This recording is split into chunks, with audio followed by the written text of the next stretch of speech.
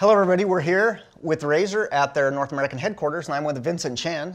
And uh, we're super excited to be showing off some of their great gaming devices. Um, Vincent, maybe you could introduce yourself and the devices we're going to be showing off today. Sure. Uh, I'm Vincent. As Mike mentioned, I handle the uh, Blade product line. Specifically, I'm a product marketing manager for our systems team.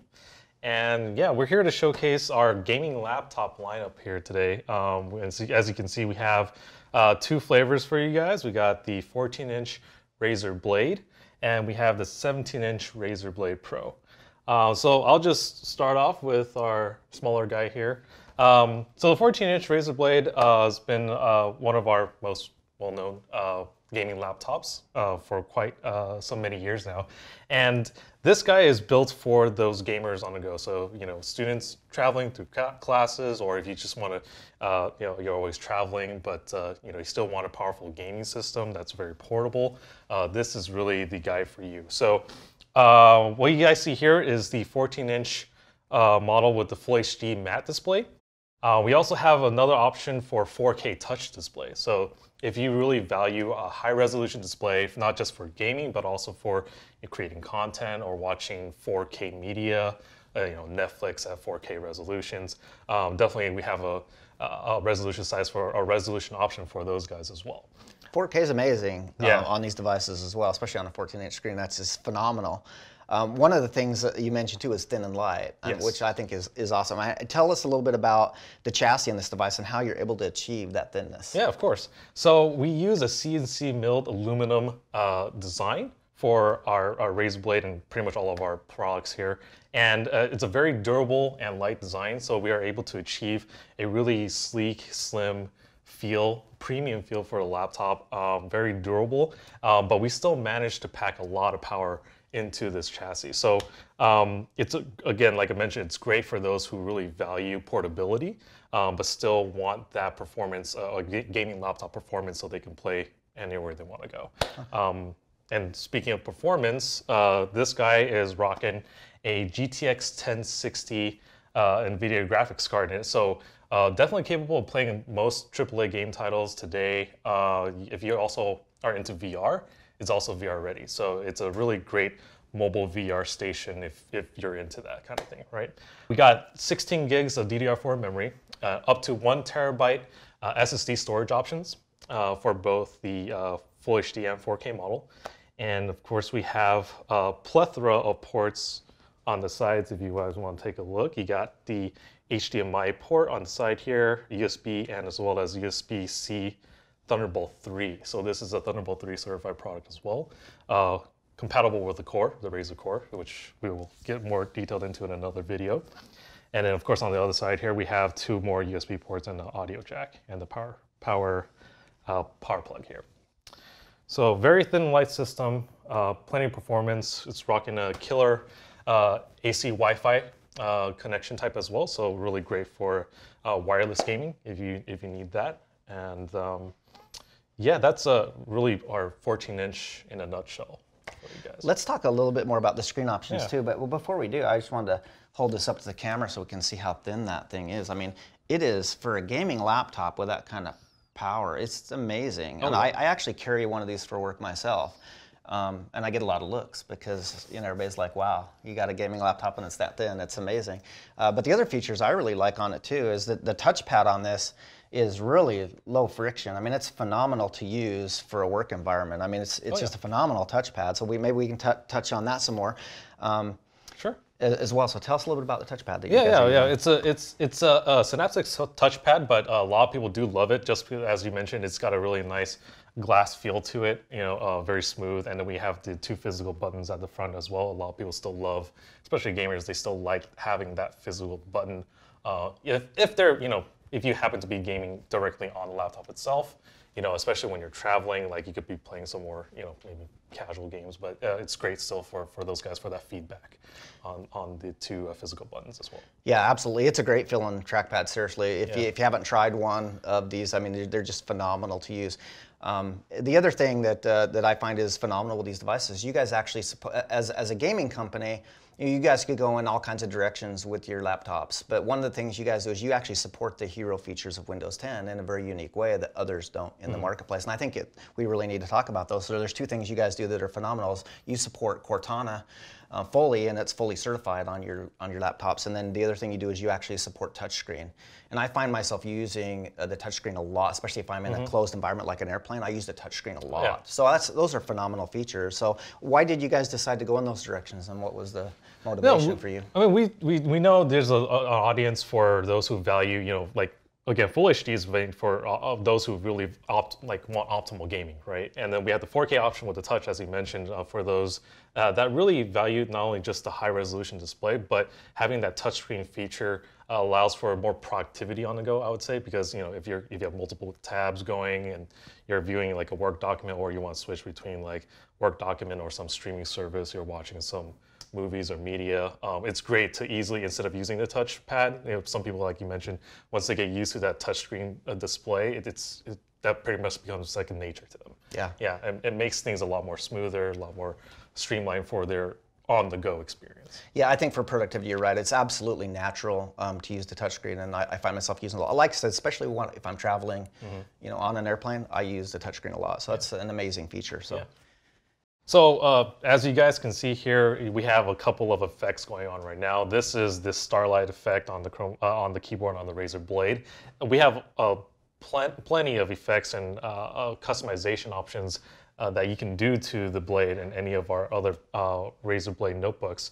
Um, but this is just a great example to show, show you guys, like this is per key lighting. we have some of the best per key lighting technology in the industry.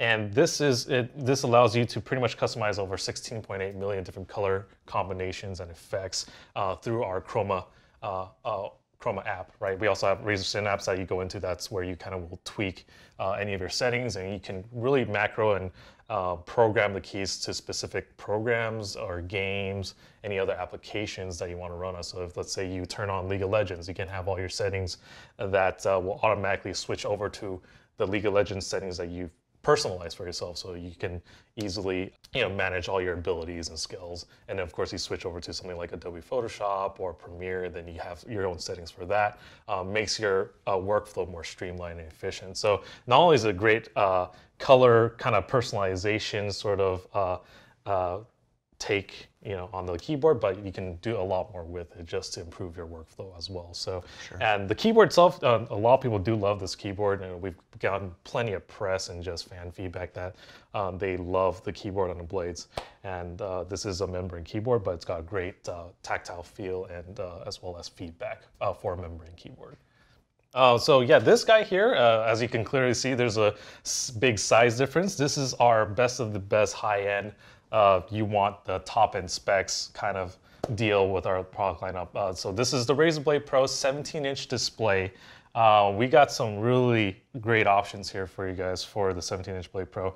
Uh, so the one you see here in, right in front of us is the 4K model. Uh, not only is it a 4K display, it's also touch enabled and as well has G-Sync capabilities. So you get that smooth wow. gaming experience, you know, at high resolutions. Like this is pretty much everything you need in a high-end gaming machine, right? Um, we also just recently came out with the full HD model, which has a 120 hertz display, uh, similar matte display like the Blade, um, so it's great, it's optimal for gaming, and you have the high refresh rate, so you have little to no uh, uh, lag or, or uh, uh high response times for, for a great gaming experience. Um, so that was a great uh, addition to, to the Blade Pro lineup. Um, so we also, same similar to the Blade, you have two flavors, right? You want that optimal gaming experience with the full HD model, or you want the high-end, stunning visual experience with the 4K model. And of course, going to specs, uh, starting with the full HD model, you have the 1060, uh, it has a GTX 1060 uh, graphics card, and then the 4K model here has a 1080. Which so, is amazing to have a 1080 and oh yeah, it's absolutely. phenomenal. Yeah, to push uh, push that much power, especially on a 4K uh, gaming machine like this with G-Sync, it's it's a great experience, right? With, with tell me a little bit about that, because I mean, you, you have a 1080 in here. I mean, and you can see with this unit too. I mean, it's super thin for a 17 inch. I mean, it's oh, crazy yeah. thin, right? Yeah. And so what do you guys do for heat and thermals? I like. I know your, your engineers are just phenomenal. So tell us a little bit about how you manage the thermals. Yeah, absolutely. So we use uh, technology called vapor chamber cooling technology. Uh, so this really, it's it's really advanced thermal technology, and that's how we're able to pack so much power into such a thin uh, design, right? Especially with something running a GTX 1080 in in in this size of a form factor uh, and chassis. So um, yeah, the vapor chamber allows uh, very efficient cooling, uh, dissipates heat really efficiently as well. Um, and of course, uh, that that's what really drives and allows for all that power to be, uh, all that heat from that power to be dissipated, right? We also have, not only on top of the GTX 1080, we also have an overclock processor in the 1080 model, the 7820 uh, HK processor. Um, on the 1060 model, we have the 7700 HQ uh, processor, similar to the Blade. You could pretty much think of the full HD model of the Blade Pro like a big brother of the 14-inch uh, blade. Okay. So that to help you guys better understand like where we are with that model. Another key difference between these two, uh, you know, we just talked about Chroma keyboard. Uh, Chroma keyboard on the blade, uh, as you can see, there's it's a much uh, robust layout. You got the trackpad to the right side, uh, the keyboard to, to the left has that kind of desktop kind of resemblance where you have the keyboard and mouse to the side. So kind of a natural feeling to that once you get used to it. And the keyboard itself is using actually low profile mechanical switches. So this is this was at the time when we launched it, the world's first ultra low profile mechanical switches. It has the same similar tactile feeling as a mechanical keyboard on a desktop. Um, you have that nice nice pop and and uh, feedback, and so it has it, it's it's a very very unique experience on the blade. So it adds a little bit more uh, of that desktop kind of feeling too. Yeah, and I know how important that is. I mean, uh, as a gamer myself, I love mechanical keyboards. I mean, yeah. you just uh, you know having that feedback and having it on a laptop is just completely amazing. Yeah, yeah, especially on a system of this this this caliber, you gotta for that full desktop replacement experience. You know, this is this is what it's really meant for, right? Um, so as I mentioned, the, the trackpad here also, we you know when we're talking about the trackpad on the blade, uh, great similar uh, glass trackpad that you have here, and you can of course uh, customize it individually like you can with all the other keys. Um, great feedback on this well, but doesn't have the physical buttons, but it's still great, uh, a great experience on that. And uh, going back into more of the specs and the systems, uh, the 4K model goes up to 32 gigs of memory. So you got high-end uh, pretty much like like mentioned, high-end specs on the Blade Pro, and then you have up to two terabytes of solid-state storage for this model too. So let's let's talk about the memory for a second. Yeah. You you mentioned it, uh, you can go up to 32 gig. Now, if I configure this with less, I, I, understand I can actually upgrade that myself later on. Is that correct? So that is for the full HD model, the 1060 version, the big brother of okay. the 14 inch. That model, you are able to actually upgrade the memory and storage. That okay. one has slotted memory. Uh, this one, you know, it's it's kind of built into the system. But if you do go the the full HD route, you can actually upgrade it um, like if you want more than 16 gigs of memory, okay. then you can actually upgrade it on your own. Yeah, that's amazing. That's, yeah. It's user accessible. Exactly. And phenomenal. That, and the 40, uh, Full HD model offers two different storage types, whereas this one has just SSDs. That one has options for a, a 256 SSD and a 2 terabyte hard drive. And you can upgrade that as well if you wanted to. So two, kind of a hybrid storage, right? Oh. for one high capacity, one SSD for faster no, I think it's a great feature yeah. because the challenge I have as a gamer is I have to pick and choose what games on a laptop I install. Right. Because exactly. I never have the storage capabilities. Yeah. I have to make, there's no compromises for me mm. on that machine. I can basically configure the storage I need and I can install the games I want exactly. on the go, and that's phenomenal. Exactly. That's a really great feature. So uh, I also understand the audio, and this is phenomenal. So tell me a little bit about the audio. Yeah. So um, this model, the 4K model specifically, it was also, is also the first uh, laptop to be THX certified. So uh, the screen and the audio uh, kind of tying into together.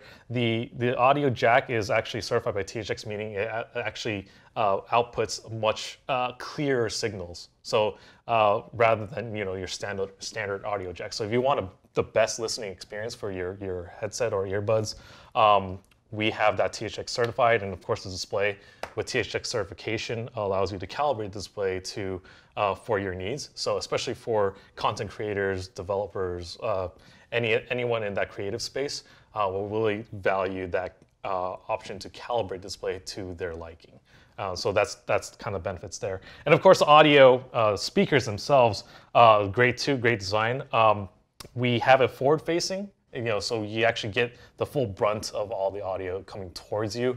You know, a lot of other uh, manufacturers out there, a lot of times their their audio is usually located on the sides or maybe a place in, kind of in the corners. But um, with the design of the Blade laptops, having it front facing allows you to experience more of the audio from your movies and gaming experience. So um, we've we've also always gotten great feedback on where.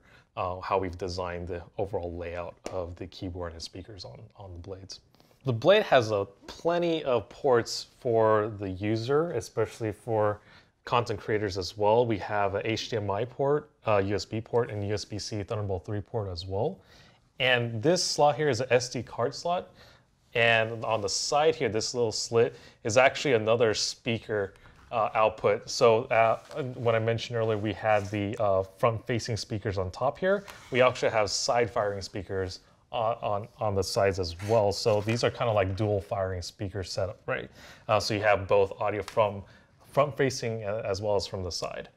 Um, and then on the right here, we have the audio jack, the THX certified audio jack. We have the two USB 3.0 ports, and then we also have an Ethernet port here for those who love wired gaming, and of course the, the power jack here.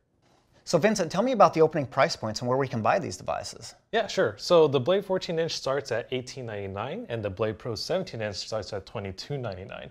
And you can actually find uh, this entire lineup here at Microsoft stores where you can get hands-on with both of these. And of course, available at other retailers and online as well. So you can uh, take your pick and take a look. Awesome. Well, thank you so much for, for having us here and uh, we appreciate everybody here for watching.